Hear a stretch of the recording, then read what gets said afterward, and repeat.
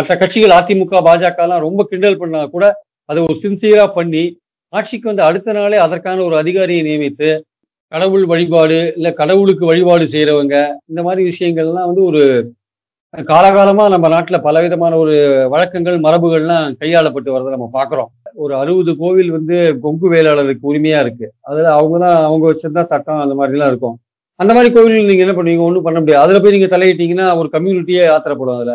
இப்போ பார்லிமெண்ட்ல ஒரு சட்டம் நிறைவேறினா இந்தியாவில் இருக்கிற எல்லா மாநிலங்களும் அதை ஏற்றுக்கொண்டு தான் தீரணும். அதே மாதிரி சுப்ரீம் கோர்ட் ஜட்ஜ்மெண்ட்டும் மருத்துவ பணியாளர்களுக்கு பத்திரிகையாளர்களுக்கு கொரோனால இறந்தவர்களுக்கு உதவித்தொகை இழப்பீட்டுத் தொகை எல்லாமே கொடுக்குற மாதிரி ஊக்கத்தொகை எல்லாமே கொடுக்கறதுக்கான முயற்சிகள்ல இறங்கியிருக்காரு. கோவிலில் கோவில்ல வேற சில பட்டாச்சாரியர்கள் குருக்கர்களுக்கெல்லாம் நாலாயிரம் ரூபாய் மாதம் உதவித்தொகை கொடுக்குற விஷயங்கள்லாம் எடுத்திருக்காரு. மோடி வந்து ஸ்டாலினை பாராட்டி மத்திய அரசு உங்களுக்கு எல்லா விதத்துலையும் உதவியா இருக்குன்னு ட்விட்டர்ல போட்டாரு. அதுக்கு ஒரு பதில் சொல்லும்போது மத்திய அரசுன்ற வார்த்தையை பயன்படுத்தாத யூனியன் கவர்மெண்ட்னு வார்த்தையை பயன்படுத்தினாரு. அதனாலதான் இந்த விஷயம் வந்து முக்கியத்துவம் பெற்றதை நம்ம பார்த்தோம் நம்ம. ஒரு குடும்பமே வந்து பூஜை பண்ணிட்டு இருப்பாங்க. அதை நீங்க டக்குன்னு டிஸ்டர்ப் பண்ண முடியாது. சில இதுல ஆகம விதிப்படி இவங்க தான் பண்ணணும்னு இருக்கும் சில கோவில்கள்ல. அவங்கள நீங்க டிஸ்டர்ப் பண்ண முடியாது. அந்த அந்த சம்பந்தப்பட்ட ஆட்களோட வாரிசுகளுமே வந்து இருப்பாங்க. ஆன் வாய்ஸ் வீடியோஸை லைக் பண்ணுங்க ஷேர் பண்ணுங்க சப்ஸ்கிரைப் பண்ணுங்க. அண்ட் மறந்துடாம பெல் பட்டனை பிரஸ் பண்ணுங்க. வணக்கம் one voice again today we have the top political analyst mister Priyan அவர்கள். சார் வணக்கம். எப்படி இருக்கீங்க? நல்லா இருக்கீங்களா? வணக்கம். நல்லா இருக்கும். நீங்க எப்படி இருக்கீங்க? நல்லா இருக்கேன் சார் நல்லா இருக்கேன். அதே நேரத்துல வந்து டிஎம்கே ஒன் மந்த் முடிஞ்சிருச்சு. எப்படி பாக்குறீங்க? உங்களோட மார்க் ஒன் அவுட் ஆஃப் டென்ல நீங்க வந்து எவ்வளவு கொடுப்பீங்க? DMK government and particularly towards Stalin எப்படி எப்படி பாக்குறீங்க? எந்த அதாவது செயல்பாடுகள்ல எது உங்களை ரொம்ப கவர்ந்துருக்கு? கொரோனா சம்பந்தப்பட்ட செயல்பாடுகள் தான் சார். அதாவது தான் மட்டுமே ஏதோ எடுத்தேன் கவித்தேன் செயல்படாம அனைவரையும் அரவணைத்து கொண்டு போற ஒரு விஷயம் இருக்குல்ல.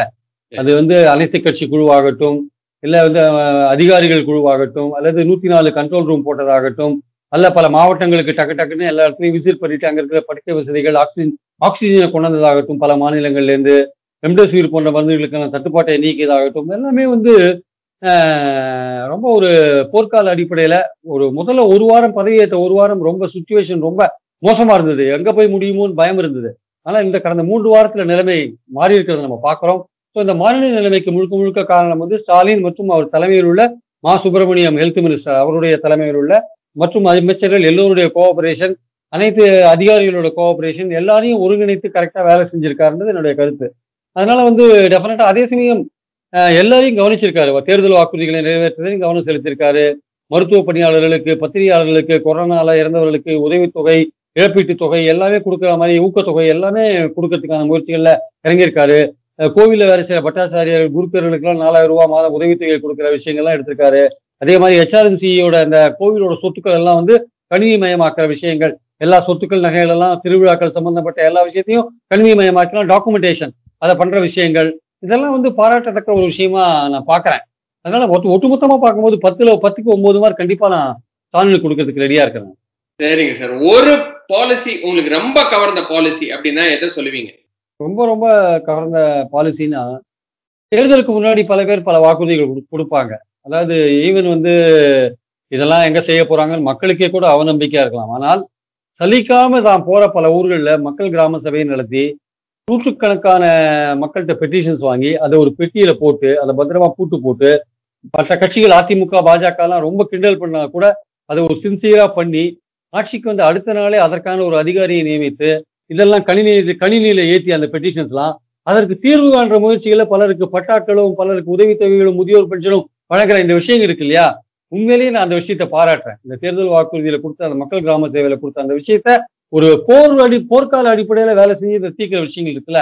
டெஃபினட்டா இது பாராட்டத்தக்க ஒரு விஷயம் சார் மற்றதெல்லாம் அரசாங்க நிதியிலேருந்து கொடுக்குற விஷயங்கள் அதெல்லாம் நடக்குது. ஆனால் இந்த பெட்டிஷன்ஸை வந்து எடுத்து அதுக்குன்னு ஒரு அதிகாரி ஐஏஎஸ் அதிகாரியை போட்டு அதை கணினியில ஏற்றி அதை ஆக்ஷன் எடுக்கிறதுன்றது நிச்சயமா பாராட்டத்தக்க ஒரு விஷயம். ஏன்னா அவ்வளவு தூரம் அதை கிண்டல் பண்ணாங்க. இந்த பூட்டை எங்க திறக்க போறாரு? திறக்கிறதுக்கு சான்ஸே கிடையாது. அவர் எங்க ஆட்சிக்கே வரப்போறது இல்லை அவருக்கு ஜாதகம் சரியில்லை யோசியம் சரியில்லைன்னு என்னவெல்லாம் சொன்னாங்க. ஆனால் கொஞ்சம் கூட சிலைக்காம ஒவ்வொரு ஊர்லயும் அதை வாங்கி பூட்டு போட்டி சின்சியரா கொண்டு வந்து அதை பிரிச்சு அதை அதிகாரிகிட்ட ஒப்படைச்சு ஆக்ஷன் எடுத்தது நிச்சயமாக பாராட்டத்தக்கது. எனக்கு இந்த முப்பது நாள் அது ரொம்ப எனக்கு கவர்ந்த விஷயமா நான் பாக்குறேன் நிச்சயமா சார். எல்லா ஜாதியினரும் அர்ச்சகர் ஆகலாம் அப்படின்ற ஒரு சட்டம் வரதா சொல்றாங்க. இது சாத்தியமா? அதுக்கு மேல இன்னொரு கொஸ்டின் இது சரிதானா? இல்ல அதாவது இந்த கடவுள் வழிபாடு இல்ல கடவுளுக்கு வழிபாடு செய்யறவங்க இந்த மாதிரி விஷயங்கள்லாம் வந்து ஒரு காலகாலமா நம்ம நாட்டுல பலவிதமான ஒரு வழக்கங்கள் மரபுகள்லாம் கையாளப்பட்டு வரதை நம்ம பார்க்கிறோம் அனைத்து ஜாதியினரும் அர்ச்சர் ஆகலாம் அப்படின்றது வந்து படிச்சுட்டு அர்ச்சர் ஆகலாம் அப்படின்றது ஒரு நல்ல விஷயம் தான் எல்லோருக்குமே அந்த சமூக நீதி வந்து கோவில்லையும் சமூக நீதி கிடைக்கணுன்றதுதான் திமுகவுடைய பாலிசியா இருக்கு. அதற்கேற்றபடி அவங்க வந்து பிராமணர்கள் பிராமணர்கள் தவிர மற்ற கம்யூனிட்டியில் இருக்கிறவங்களுக்கெல்லாம் வேத பயிற்சி கொடுத்து அவங்களெல்லாம் அர்ச்சகராக்கி அது சுப்ரீம் கோர்ட்டும் அதை ஏத்துட்டு இருக்கிறத நம்ம பார்க்குறோம். அவர்களுக்கு போஸ்டிங் கொடுக்க வேண்டியதான் பாக்கி. சிலருக்கு போஸ்டிங்கும் கொடுத்துருக்கிறத நான் பார்க்குறேன் இன்னும் பல பேருக்கு போஸ்டிங் கொடுத்து அவங்களெல்லாம் அர்ச்சகர் ஆக்கலாம் அப்படின்னு ஒரு ஐடியால அவங்க இருக்காங்க. கவர்மெண்ட் இருக்கிறத நம்ம பார்க்குறோம் ஆனா அதுல சுப்ரீம் கோர்ட்டோட தீர்ப்பு ஒரு விஷயம் பலவிதமான தீர்ப்புகள் அதுல இருக்கு சுப்ரீம் கோர்ட் ஏன்னா இதுல நிறைய சட்ட சிக்கல்கள் இருக்கு.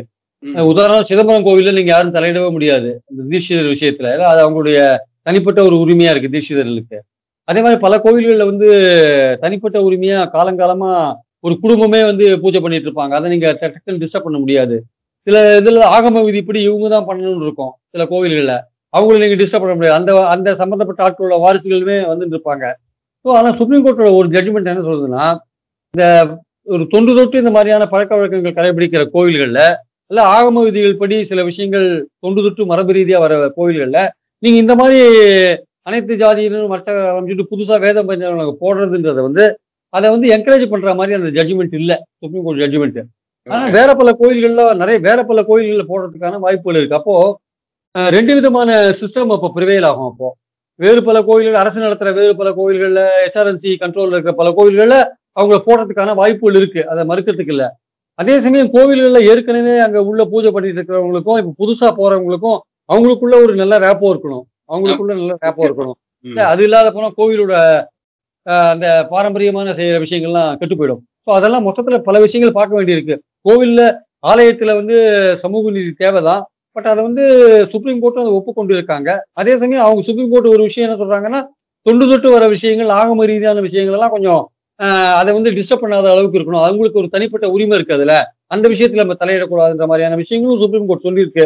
ஸோ அனைத்தையும் கலந்து பார்க்கும்போது ரொம்ப கேர்ஃபுல்லாக அணுக வேண்டிய விஷயம். ஏன்னா நீங்க இதெல்லாம் பண்ணும்போது இதை எதிர்த்து பிரச்சாரம் பண்றதுக்குன்னே வேறொரு அஹ், விஷயத்தை கையில் எடுப்பாங்க இவங்களுக்கு. அரசியல் ரீதியா அரசியல் ரீதியா இதுக்கு எதிரான பிரச்சாரத்தை கையில் எடுப்பாங்க. ஏதோ இந்து மதத்தை அழிக்க வந்துட்டதாக ஒரு பிரச்சாரத்தை கையில வேற வகையில எடுப்பாங்க.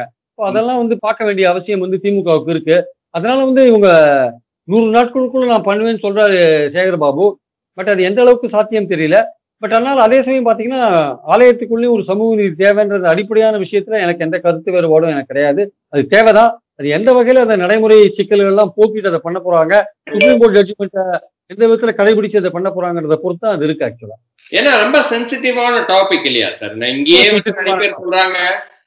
நீங்க சொன்ன மாதிரி சமூக நீதி தேவைதான். But is this the right அப்ரோச்னு ஒண்ணு இருக்கு இல்லையா? ஏன்னா வந்து இது வந்து ஒரு ஒரு பத்து நாளோ இல்லாட்டா பத்து வருஷத்துக்கு பின்னாடியோ இல்ல. இது வந்து ஆயிரம் ஆயிரம் வருஷத்துக்கு பின்னாடியில இருந்து இருக்கிற சம்பிரதாயங்கள். அந்த சம்பிரதாயத்தை சேஞ்ச் பண்றது அந்த அளவுக்கு நல்லதா கெட்டதா அப்படின்னும் போது everyone are divided to be honest உதாரணமா பாத்தீங்கன்னா கொங்கு மண்டலத்துல ஒரு அறுபது கோவில் வந்து கொங்கு வேளாளருக்கு உரிமையா இருக்கு. அதுல அவங்கதான் அவங்க வச்சிருந்தா சட்டம் அந்த மாதிரி எல்லாம் இருக்கும். அந்த மாதிரி கோவில் நீங்க என்ன பண்ணுவீங்க? ஒண்ணும் பண்ண முடியாது. அதுல போய் நீங்க தலையிட்டீங்கன்னா ஒரு கம்யூனிட்டியே ஆத்திரப்படும் அதுல. அதே மாதிரி பல கம்யூனிட்டிக்கு சொந்தமான தனிப்பட்ட கோயில்கள்லாம் நிறைய இருக்கு. அதுல நீங்க ஒண்ணும் பண்ண முடியாது. இப்போ ஹெச்ஆர்என்சி கண்ட்ரோல்ல இருக்கிற கோயில்கள்ல பெரிய கோயில்கள்ல ஆகம விதிப்படி அந்த நீங்க சொல்ற மாதிரி சம்பிரதாயப்படி ப- பல நூறு வருஷங்களா இருக்கிற விஷயங்கள் தவிர வேற யாராவது அங்க அகாமடேட் பண்ண முடியுமான்னு பார்த்து அதை பண்ணுவாங்கன்னு நினைக்கிறேன். அது வந்து இதுவும் ரொம்ப எப்படி நீங்க அந்த இடஒதுக்கீடை பத்தி கேட்டீங்களோ எப்படி அது சிக்கலான விஷயமோ அதே மாதிரி இதுவும் ரொம்ப சிக்கலான விஷயம்தான். ஸ்டாலினுக்கு ஒரு சவாலான விஷயம் தான் ஆக்சுவலா ஏன்னா இது உணர்ச்சி வசப்பட்டு பண்ணக்கூடிய விஷயம் இல்ல. ஈர ஆராய்ச்சி சுப்ரீம் கோர்ட்டோட சுப்ரீம் கோர்ட்டோட பல ஜட்ஜ்மெண்ட்ஸ் இதுல இருக்கு. அதெல்லாம் அனுசரிச்சு தான் நம்ம அந்த சமூக நீதியை வந்து கோயில்களில் கொண்டு வரணும் ஆக்சுவலா ஆமா மிஸ்டர் சேகர் பாபு பேசியிருக்காரு அறநிலையத்துறை அமைச்சர். ஆனா வந்து அது எந்த அளவுக்கு சாத்தியம்ன்றது வந்து போக போக தான் தெரியும். நிச்சயமா. ரெண்டாவது கொஸ்டின் அதாவது வந்து இந்த டாபிக்ல ஒன்றிய அரசா மத்திய அரசா சார் இதுல வந்து ஏன் வந்து எவ்வளவோ பிரச்சனைகள் இருக்கு. இந்த இந்த பிரச்சனை எப்படி வந்து ஒரு மிகப்பெரிய ஒரு பிரச்சனை ஆச்சு? இது வந்து ஒரு டிஸ்கஷன் பாயிண்டா கூட வரக்கூடாது பட் இருந்தாலும் உங்களோட கருத்துக்கள். இல்ல இல்ல. அது ஏன் டிஸ்கஷன் ஆச்சுன்னா வேற எதுவும் டிஸ்கஸ் பண்றதுக்கு அவங்களுக்கு இல்ல எதிர்க்கட்சிக்கு பிஜேபிக்கோ இல்ல வலதுசாரி சிந்தனையாளர்களுக்கு எதுவும் வேற எதுவும் இல்ல. இதை கிளப்பி விட்டாங்க. ஒருவேளை இந்த பத்மா சேகாதி ஸ்கூலை பத்தி பரவாயில்ல பேசுறதுனால அதுல இருந்து மக்களை டைவர்ட் பண்றதுக்காக அப்படி பண்ணிட்டாங்களோன்னு தெரியல. ஒருவேளை இந்த விவாதங்கள் எல்லாம் டிஸ்க திசை திருப்பி விடுறதுக்காக பண்ணிட்டாங்களோ ஒன்னோ அப்படி கூட நமக்கு யோசிக்க தோணுது. அடிப்படையா விஷயம் என்னன்னா இந்தியா இந்தியா வந்து ஆர்டிகல் ஒன்ல கான்ஸ்டியூஷன்ல India the Bharat union of ஸ்டேட்ஸ்னு போட்டிருக்காங்க. யூனியன் ஆஃப் ஸ்டேட்ஸ்னா மாநிலங்களின் ஒன்றியமா தான் அது அது ஆக்சுவலா அதனால தான் ஒன்றிய அரசுன்னு சொல்றாங்க ஆக்சுவலா அது எந்த தவறும் இருக்கிறதா எனக்கு தெரியல ஆக்சுவலா அதே மாதிரி பாத்தீங்கன்னா ஏன் வந்து இந்த விஷயம் வருதுன்னா மோடி வந்து ஸ்டாலினை பாராட்டி மத்திய அரசு உங்களுக்கு எல்லா விதத்துலயும் உதவியா இருக்குன்னு ட்விட்டர்ல போட்டாரு. அதுக்கு ஒரு பதில் சொல்லும்போது மத்திய அரசுன்ற வார்த்தையை பயன்படுத்தாத யூனியன் கவர்மெண்ட்னு வார்த்தையை பயன்படுத்தினாரு.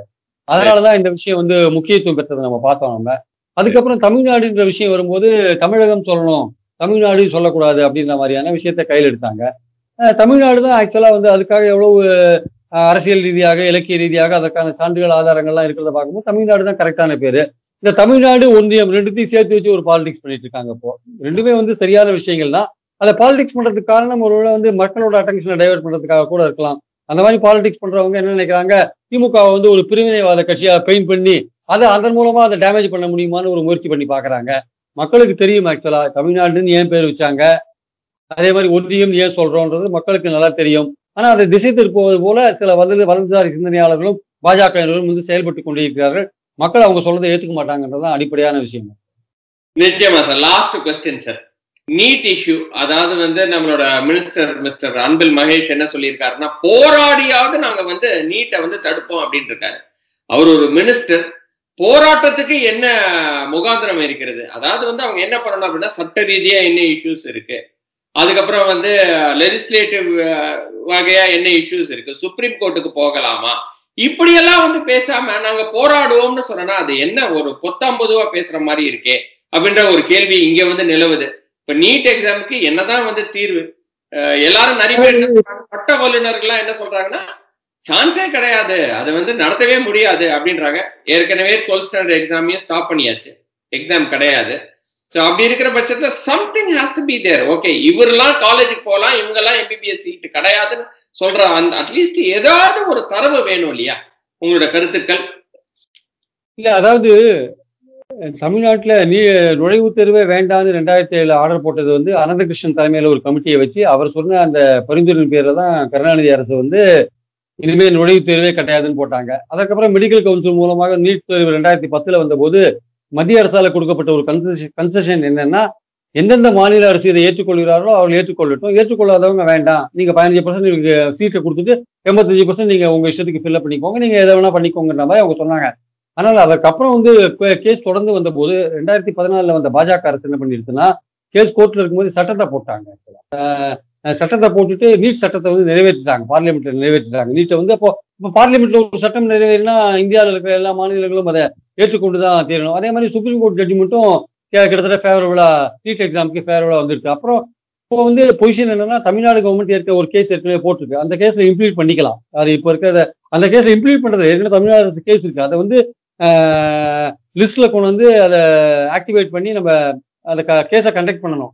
அது ஒரு பாயிண்ட் இருக்கு.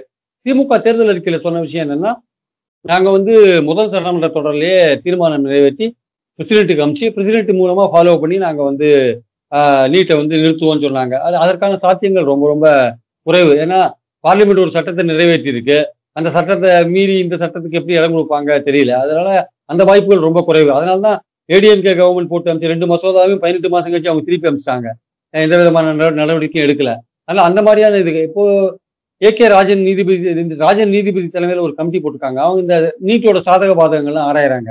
இப்போ நீட்டோட சாதக பாதகங்கள்லாம் ஆராய்ஞ்சு ஏற்கனவே கே- சுப்ரீம் கோர்ட்ல ஒரு கேஸ் பெண்டிங்கா இருக்கு இல்லையா? அந்த கேஸ் இன்னும் கொஞ்சம் ஆக்டிவேட் பண்றதுக்காக அதற்கான மெட்டீரியல் தயார் பண்ணி கோர்ட் மூலமா ட்ரை பண்ணி பார்க்கலாம். அது எடுத்த உடனே இதெல்லாம் இமீடியட்டா நடக்கிற மாதிரியான ஒரு வாய்ப்பு தெரியல. ஆனால் இந்த வருஷம் என்ன பண்ணலாம்னா ஃபர்ஸ்ட் டூ எக்ஸாம் ரத்து பண்ணதுனால இந்த வருஷம் நீட்டுக்கு வேண்டாம் அப்படின்ற மாதிரியான ஒரு விலக்கு இந்த வருஷம் மட்டும் வாங்குறதுக்கான வாய்ப்புகள் அரசியல் ரீதியாக ப்ரெஷர் பண்ணி வாங்குறதுக்கான வாய்ப்புகள் இருக்கு. அதே மாதிரி சென்ட்ரல் கவர்மெண்ட்டே இந்த வருஷம் எந்த என்ட்ரன்ஸ் எக்ஸாம் கிடையாது.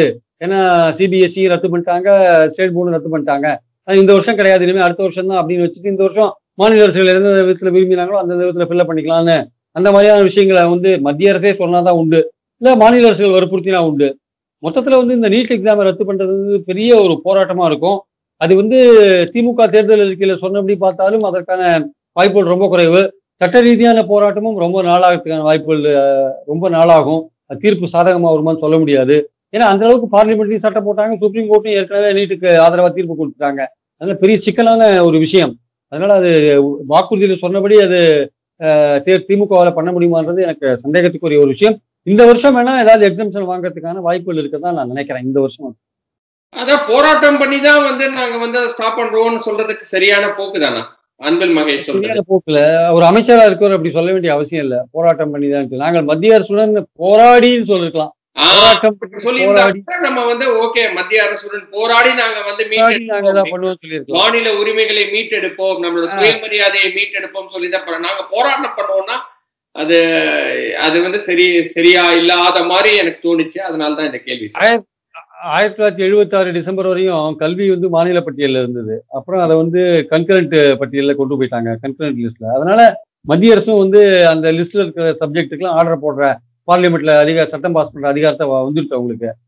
முந்தி மாதிரி கல்வி வந்து முழுக்க முழுக்க மாநில அரசு சம்மந்தப்பட்டதா மத்திய அரசு தலையிட்டு இருக்காது அதான் இப்போ அந்த அந்த திரு அந்த சட்டத்தை வந்து யாரும் இப்போ ஒன்றும் பண்ண முடியாது. மத்திய அரசும் தனக்கு இருக்கிற அதிகாரத்தை விட்டு கொடுக்க மாட்டாங்க. ஒரு அதிகாரத்தை விட்டு கொடுக்கறது அவ்வளவு சீக்கிரம் நடக்காது. அதனால இந்த விஷயத்துல ஸ்டேட் கவர்மெண்ட்டுக்கு ஒரு பெரிய சேலஞ்சு தான் காத்துட்டு இருக்குன்னு என்னோட அபிப்பிராயம். சொன்னபடி செய்ய முடியுமான்றது கொஞ்சம் கஷ்டமான காரியம் தான் நான் நினைக்கிறேன். நிச்சயமா சார் தேங்க்யூ அகைன் எங்களோட கொஸ்டின்ஸ் எல்லாமே ஆன்சர் பண்ணதுக்கு இன்னொரு வீடியோல நிச்சயமா சந்திக்கிறேன். அது வரைக்கும் நன்றி வணக்கம் sir thank you one voice வீடியோஸை லைக் பண்ணுங்க ஷேர் பண்ணுங்க சப்ஸ்கிரைப் பண்ணுங்க. அண்ட் மறந்துடாம பெல் பட்டனை ப்ரெஸ் பண்ணுங்க.